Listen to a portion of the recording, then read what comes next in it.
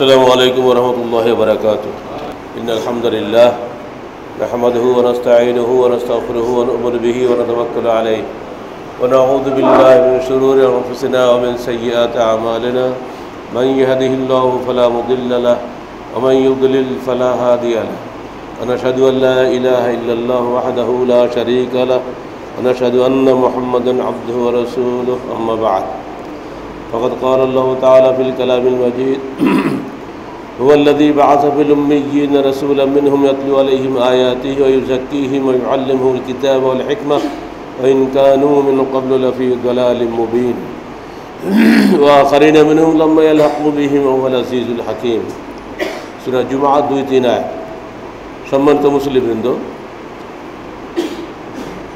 ঢাকা জেলায় ঢাকা শহরে বসে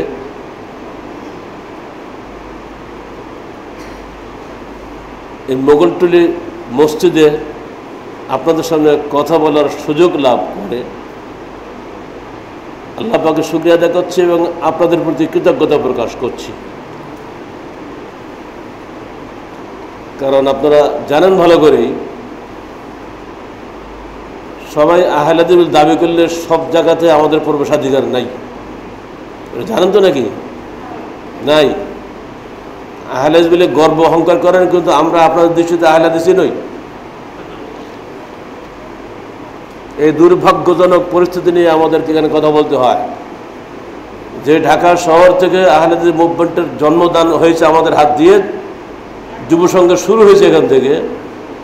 প্রতিটি মসজিদে মসজিদে আমাদের অবাধ বিচরণ ছিল। হিংসা, প্রতিহিংসা এত বেশি আপনাদের মধ্যে হয়ে গেছে, কিসের সিয়াম, কিসের কিয়াম, সব বাতিল। গালেব সাহেব যেখানে, সেখানে নেই আমরা, খালাস। একটাই ফতোয়া শেষ। যেন গালেব সাহেব আহলা দিছি না? এর যত হিংসাই আপনারা করেন, একটা না একটা পথ খুলি বেরোবেই। ওই মসজিদ বন্ধ হয়েছে, এই মসজিদ চালু হয়েছে। এই মসজিদ বন্ধ হয়ে আর এক মসজিদ চালু হবে। বন্ধ করতে পারবেন না। মসজিদ যদি নাও থাকে গাছতলাতেই বক্তব্য রাখব। রাস্তার চলাফেরার লোকেরাই আমাদের বক্তব্য শুনবে। আপনার এই বিষয়গুলো মনে রাখতে হবে, হিংসা, প্রতিহিংসা, ওয়াজ যতই করে, আগে আমার দাবি হলে আগে হিংসা বন্ধ করো। সায়েক হও মাসায়েক হও, মুফতি হও, যাই হোক, আগে হিংসা বন্ধ করো, তারপরে যে কথা বলো। পেট ভর্তি হিংসা নিয়ে ফতোয়াবাজি করব এসব চলবে না।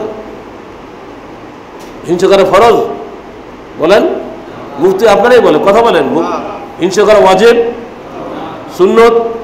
মোস্তাহাব? তো কোন পর্যায়ের ওটা? বলেন এবারে।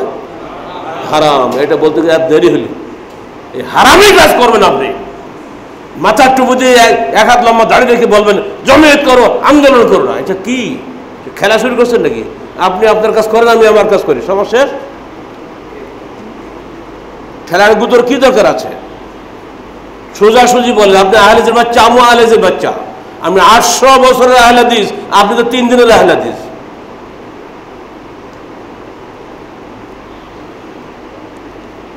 আহলেতে পরে ডক্টরেট করতে গিয়ে আমাকে জিজ্ঞেস করা হচ্ছে আহলে তো হইল বালাকোটের পরেই।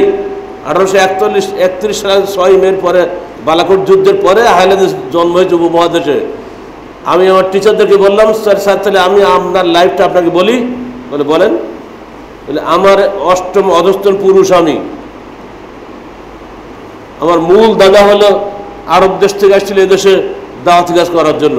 করতে গিয়ে আমার দাদি হলো ভারতের বারাসাত মহকুমার ফলতি গ্রামে ওইখানে বিয়ে করেছিল আমার সেই দাদা, সৈয়দ শাহ নজির আলী।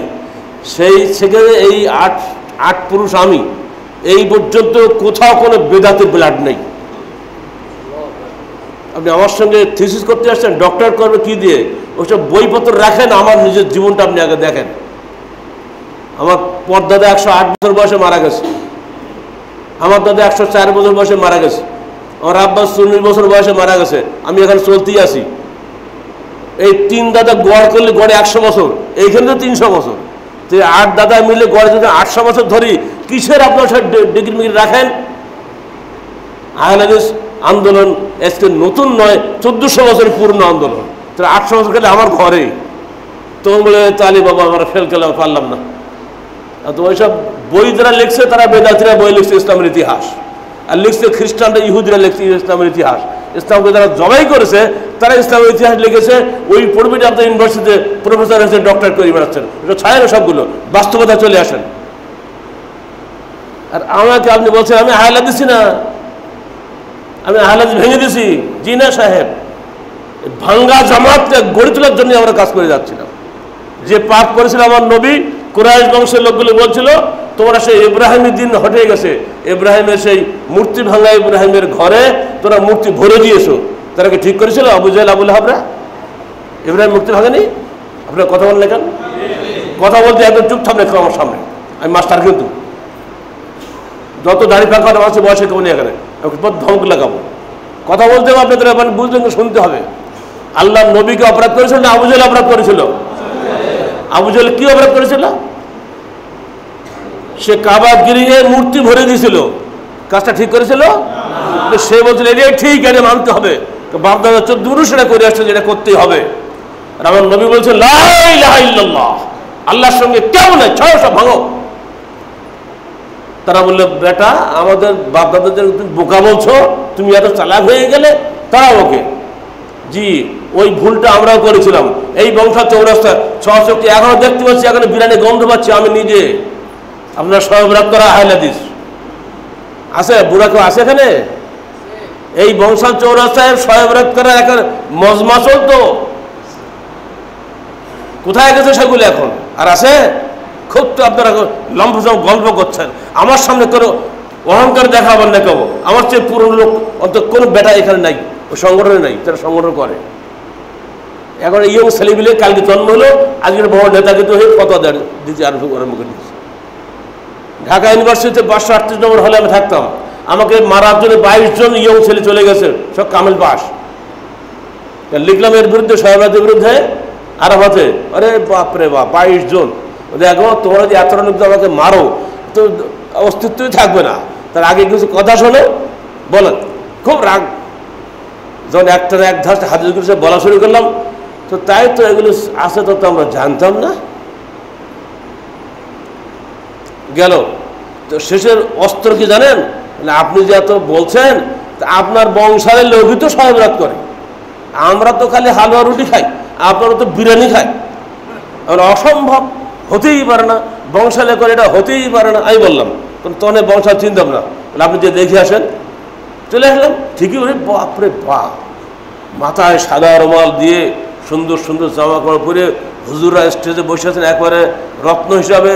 এক একজন হ্যাঁ বক্তব্য রাখবেন আর বিড়ালের ভুম ভুম গন্ধ শুরু হয়ে চারিদিকে, বাপরে বাপ কি? আমার তো মেজাজ মেজ খারাপ সব বোনার তা তোরা ঠিকই কথাই বলেছে। উঠতে উঠতে গেলাম স্টেজে, ইউসুফ সাহেব সুরিটুলের মোতালি সাহেব আমাকে চিনি ফেলেছে, আগে খদ্দা দিয়েছে কয়েকটা।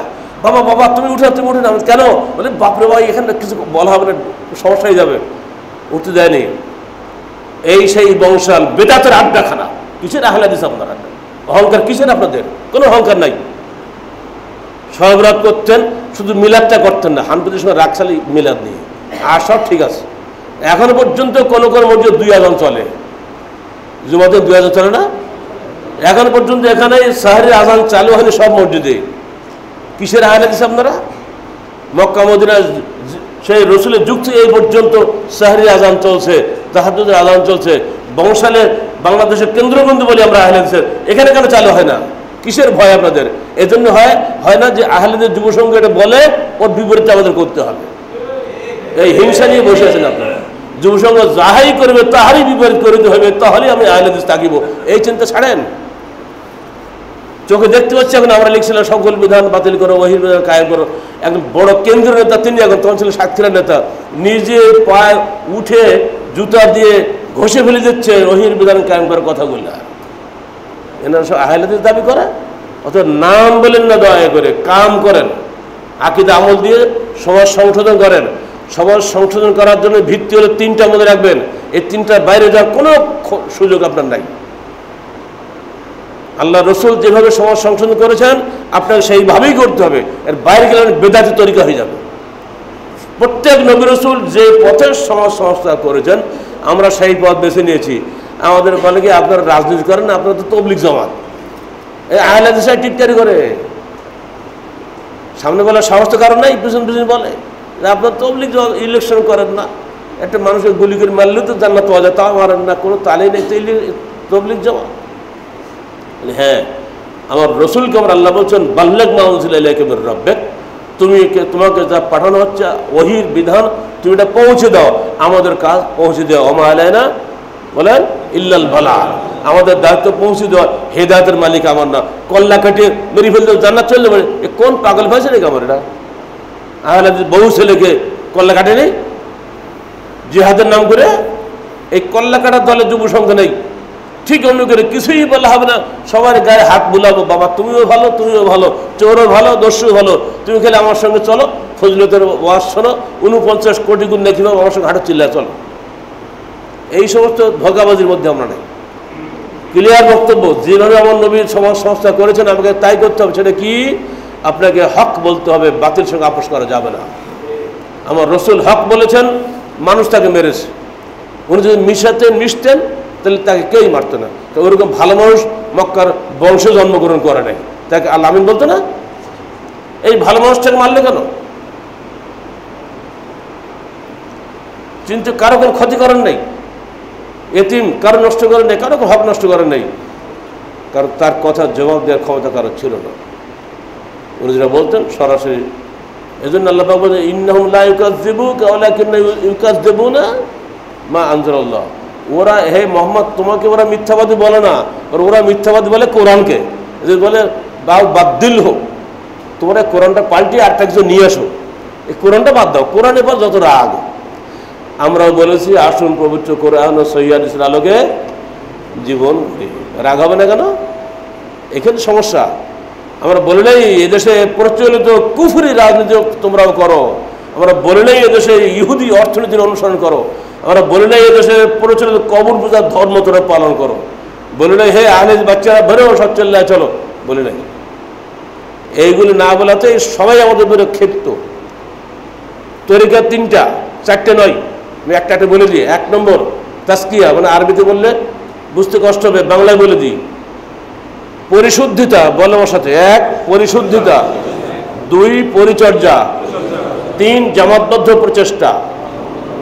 তিনটারই পক্ষে কোরআন আছে, হাদিস আছে, আল্লাহ রসুলের জীবনের বাস্তবতা, প্রমাণ আছে। পরিশুদ্ধিতা, আপনি জামা কাপড় নষ্ট হয়েছে, সাফ করেন কি দিয়ে বলুন তো? সাবান দেন না? সাবান ছাড়া যদি বালি দিয়ে, কাদা দিয়ে সাফ করেন, সাফ হবে? আমরা ভাই সাবান দিয়ে ব্যবহার, সাফ করি। সাবানটা কি? কোরআন, হাদিস। সহি হাদিস? জয়ীব জাল করে সাবান না। কোরআন এবং হাদিস দিয়ে আমরা কাপড় সাফ করি, কাপড় মানে দিল্লির ময়লা সাফ করি, প্রচলিত প্রথা সাফ করি, সমাজ যা চলছে সবগুলো আমরা আপোষ করি না। যখন আপনি সাফ করবেন গায়ের জ্বালা করবে না। ডাক্তার সাহেব বসে আছে বাসায় অবজাদ ভাই আমার, সেই সময়ের বন্ধু। উনি খালি এমন দিন জানা মতো মানুষের গায়ে ইঞ্জেকশন ফুটায় না। তার সাথে ডাক্তার হবে না ইঞ্জেকশন ফুটাবে না, কাটবে। রুগী আহম করে না, কিন্তু রুগী সহ্য করে। কেন? এই ইঞ্জেকশনটা ফুটলে একটু পরে আমরা আরাম পাবো। তা আমার হলো ইঞ্জেকশন দেওয়া লোক আর অপারেশন করালো অপারেশন করলে আহু করতে হবে আপনাকে, জ্বালা যন্ত্রণা লাগবেই, কিন্তু সহ্য করতে হবে। কারণ এর বিনিময়ে আপনি ইনশাল্লাহ জামা জান্নাত পাবেন আশা করি। মল- মলম দিলে হবে না? এখানে ময়লা হয়েছে, রোগী কষ্ট পাবে মনে করে আপনি শাল উঠালেন না, ওইভাবে মলম দিলেন, সারা জীবন মলম দেন, জীবনে ওই ঘাস হারবে না। ওইটাকে উঠাতে হবে, ঘষতে হবে, টাটকা রক্ত বের করতে হবে, এরপরে মলম দেন ইনশাল্লাহ ঘাস হেরে যাবে, তাই না? তো এই রুগী সাফ করতে যেয়ে, সমাজ সংস্থানে কাজ করতে যেয়ে আমাদের শত্রু হয়েছে বেশি। ঘরে শত্রু বাইরে শত্রু, আন্তর্জাতিক বিশ্বের শত্রু, এমনকি দেশে হজ করতে গেলে সেখানেও শত্রু তৈরি হয়ে গেছে। ও কাবাঘরে বসে বন্ধু গিবক্তের আমাদের বিরুদ্ধে? যাব কোথায়? সর্বত্র শত্রু ভরে আছে। কারণ একটাই, যে সংশোধন কেউ পছন্দ করে না। যা চলছে তাই চলবে, এটাই সবাই চায়। এটা হবে না। পরিশুদ্ধতা, এক নম্বর। আহলেজ আন্দোলন বাংলাদেশ সমাজ পরিশুদ্ধ করার চেষ্টা করে। দুই নম্বর, পরিচর্যা। একদিন এসে বললাম, ভাই, হুইল সমান ব্যবহার করবেন, আর কিছু বললাম টললাম না। হবে? ওটা বারবার সাফ করতে হবে। একবার, দুবার একটা জিনিসকে ডাকতে হবে, বলতে হবে। যেমন একটা গাছ যেমন রোপণ করার পরে তার বেড়া দিতে হয় ময়লা সাফ করা লাগে, গরু যেন না খায় ছাগলের যেন না শেষ করে, চেষ্টা করতে হবে না? এমনি করে একটা ছেলেকে নিয়ে আমরা সোনামনি করি, তারপর তাকে যুব সঙ্গে নিয়ে আসি, তারপর তাকে আন্দোলনে নিয়ে আসি।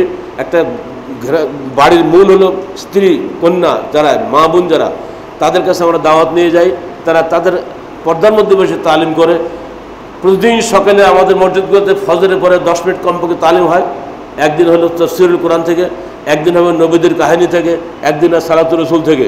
প্রতিদিন এসার পরে একটা করে সহি হাদিস শোনানো হয়, অর্থ সহ। সপ্তাহে একদিন তালিম বৈঠক করা হয়, এক ঘণ্টা বা দু ঘণ্টার জন্য। আমাদের সাংগঠনিক মসজিদগুলোতে এগুলো সবসময় নিয়ম চলে। এই নিয়ম চলার ফলে আস্তে আস্তে সমাজ গড়ে ওঠে, একটা মানুষ শেখে। আপনি কোনোই চেষ্টা করবেন না একদিন একটা গরম বক্তব্য দিন, বছরে একদিন এসে অমুক অমুক খারাপ অমুক খারাপ, আমি খালি ভালো। এই করতে হবে না। সমাজ গড়ে তুলতে এই পরিচর্যা লাগে এরকে বলে তার বিয়া তিন নম্বর হলো জামাতবদ্ধ প্রচেষ্টা এককভাবে কারও পক্ষে সমাজ নয়, একটা বিশ কোটি মানুষকে হেদায়ত করা। এর জন্য ঐক্যবদ্ধ নেতৃত্বের মাধ্যমে জামাতবদ্ধ, সুপরিকল্পিত প্রচেষ্টা প্রয়োজন। একটা ছোট্ট একটা ব্যবসা পর্যন্ত আপনি করতে পারেন না। যদি আপনার প্ল্যান না থাকে এবং আপনার সঙ্গে কিছু সহযোগিতা লক্ষ্য না থাকে, গাড়ি পর্যন্ত চলানোর যদি ড্রাইভার না থাকে, এখানে এই নিয়মটা আমাদের নবীর রেখে যাওয়া সুন্নত। আল্লাহ কোরআন বলছে আমরা যে আমাদের যে যে আয়াতটা আছে না, কি বলে, পরিচিত কি বলে, কুল হাজি সাবিলি, বলতে পারেন কেউ? হ্যাঁ বলেন আমার সঙ্গে, কুল হাজিহি সাবিলি আদউ ইলাল্লাহ। আনা অমানের তাবানি আলা বাসিরাতিন আনা অমানের তাবানি এই আয়াতটা এই ঢাকায় বসে আমার বাসাই করা। এখন না বড় কিছু হয়ে গেছে। তখন তো আমি কিছুই ছিলাম না, ছাত্র ইউনিভার্সিটির মাত্র। তখন বাসায় করে করে এই আয়টার মাথায় এইটা আমাদের দিতে মূল। তুমি বলো, হাজেহি সাবিল, এটাই আমার রাস্তা। আদউল আল্লাহ ডাকে আমি মানুষটা আল্লাহর পথে, বান্দার পথে নয়। আল্লাহ বাসিরাতিন, জাগ্রত জ্ঞান সহকারে। আনা অমানের তাবানে আমি এবং আমার অনুসারীরা। অসুভানুল্লাহ আনা আমাল মুশরিকিন। আমার আল্লাহ পবিত্র, আমি মুর্শিদদের অন্তর্ভুক্ত নই। অর্থাৎ দুনিয়ার প্রচলিত কোনো মতবাদের সঙ্গে আমার কোনো আপোষ নাই। স্রেফ লাইল্লাহর সঙ্গে আমার আনুগত্য। এই কথাটাই এই সুরা ইউসুফ একশো আট নম্বর আয়াতের মধ্যে আছে বিধায়। এটাকে আমরা গ্রহণ করে নিয়েছি? আল্লাহ রসুলকে বলেননি, আল্লাহ তুমি একাকে সব কিছু করো হাসবুক আল্লাহ তাবাক আমরান মোমিনিন। তোমার জন্য আল্লাহ যথেষ্ট এবং তোমার অনুসারী মোমিনদের সাথে নিয়ে তুমি কাজ করো। আজকেও ঠিক একই নিয়ম। জামাতবদ্ধ প্রচেষ্টা ব্যতীত কোশ্চিন কালে কোনো কিছুই করা সম্ভব নয়। আলাইকুম বিল জামা হাদিস বললাম আমার সাথে, আলাইকুম বিল জামা ওয়াইয়াকুম অল ফোরকাহ চারটি শব্দে একটা হাদিস মুখস্থ করে বাড়ি চলে যায় অর্থাৎ আহলাদিস বলে নামটা সার্থকতা হবে। যে চারটা অর্থ দিয়ে, শব্দ দিয়ে একটা হাদিস আজ শিখে আসছে। আলাইকুম বিল জামা ওয়াইয়াকুম অল ফোরকাহ তোমাদের উপরে জামাতবদ্ধ জীবন অপরিহার্য, বিচ্ছিন্ন জীবন নিষিদ্ধ। এরপরও যদি আপনারা বলেন সংগঠন করবেন ঘরে বসে বসে টিভি দেখবার বড় বড় নেতা হয়ে যাব, এটা হবে না। এই তিনটা মৌলিক পদ্ধতির মাধ্যমে সমাজ সংস্থা করা সম্ভব। আহলেদিস আন্দোলন বাংলাদেশ বাংলাদেশ আহলে যুব সংঘ এই তিনটা মৌলিক নীতি অনুসরণ করে চলার চেষ্টা করছে। এখন হকপন্থী মানুষ যখন দলে দলে আসতেছে আমাদের সংগঠনে, তখনই কিছু মানুষের গা জ্বালা শুরু হয়ে গেছে। বেদাতিরা খেপে যাচ্ছে হেদাতিরাও খেপে যাচ্ছে। সবাইকে বলব খেপবেন না, আপনি আপনার কাজ, আপনি চালিয়ে যান। হিংসা বিদ্বেষ হারাম করেন। আমরাও কাউকে হিংসা করি না, আমরা দাওয়া দিয়ে যাচ্ছি। যারা আমাদের সংগঠনের ভক্ত, আলহামদুলিল্লাহ তাদের সাথে নিয়ে আমরা কাজ করেছি আল্লাহ নবীর সঙ্গে সারা দুনিয়ার লোক আসেনি, অল্প কিছু মুসলমান আসছিল। আমাদের সঙ্গে অল্প কিছু মুসলমান আসবে, তাদের নিয়ে আমরা থাকব। দয়া করে বসতে দিয়েছেন এখানে। আলহামদুলিল্লাহ আপনাদের বড় সুক্রিয়া নোটস দিবেন না, রাস্তাঘাটে কথা বলব, রাস্তা আপনি বন্ধ করতে পারবেন না। এইভাবে আমরা সারা দেশে কাজ করে যাচ্ছি। এই আন্দোলন দিন দিন বরকত মণ্ডিত হচ্ছে। হাজার হাজার নয়, এখন লাখে লাখে মানুষ নবাতে বাড়ি চলে যাচ্ছে ইস্তেমা দেখেন না আপনি এগুলা? যত বাধা দেবেন, তত আর আন্দোলন বাড়ি যাবে। এজন্য বলছে, বাধা দিবেন না। হকের গতি কালে বন্ধ করার ক্ষমতা কারও নাই। আল্লাহ আমাদের পক্ষে আছেন আল্লাহর সাহায্য নিয়েই আমরা কাজ করি। আল্লাহর উপর নির্ভর করেই আমরা দুনিয়ায় চলাফেরা করার চেষ্টা করি। পরিশেষে আপনাদেরকে ধন্যবাদ জানাচ্ছি। আর যে কথা শাখা বলেছে বলে আমি মনে করি যে আমাদের মার্কাজ যদি না থাকে, শাখা থাকবে মার্কাজ নষ্ট হয়ে যাচ্ছে কিন্তু আমরা মানুষকে চাকা চাই না? ফলে গত বছরে টিনের চাল উড়িয়ে ধর ক্যাম্পাসের মধ্যে ছিল, এবার মহিলা মানুষের টিনের চাল উড়ে ক্যাম্পাসের বাইরে চলে গেছে। এরপরও কি কিছু বলতে হবে? জ্ঞানী যারা ইশারায় যথেষ্ট। এখানে দশতলা বস্তার বিল্ডিং বানাচ্ছেন, একটা হচ্ছে বাস, লোক শেষ, খালি জুমাপুরি বাড়ি চলে গেলেন। ওখানে প্রতি মুহূর্তে তালিম হচ্ছে, সেখানে মানুষ তৈরি হচ্ছে, সেখানে গবেষণা গৃহ আছে। সেখানে গবেষণা হচ্ছে তিন তিনটা পত্রিকা বের হয় সেখান থেকে। আত্মাহারিক তহিদের ডাক, কি? সোনামণি প্রতিভা তিনটা পত্রিকা বের হয়। এখন নতুন করে চালু হলো আত্মাহারিক টিভি, এর জন্য প্রসেসর লাগে না। এই সব জন্য ঘর লাগে, মানুষ লাগে, টাকা লাগে, পয়সা লাগে, ওইখানে আপনাদের দানের হস্ত প্রসারিত হয় না। সবাই একটা মসজিদ করে জান্নাত পেয়ে যাব। জি না, সাহেব? আল্লাহ আপনাদের সবাইকে সত্যিকার অর্থে আল্লাহর অস্তে পবিত্র দিনের শেষে বলে যাচ্ছি, জায়গা বুঝে দান করুন ইনশাল্লাহ বরকত দিবে।